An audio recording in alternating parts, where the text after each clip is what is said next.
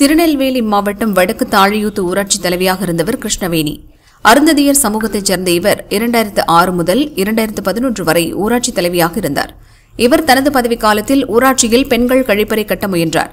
இதற்கு எதிர்ப்பு தெரிவித்து கவுன்சிலர் சுப்பிரமணியன் தரப்பினர் ஆட்டோவில் தனியாக சென்ற கிருஷ்ணவேணியை சரமாரியாக வெட்டினர்.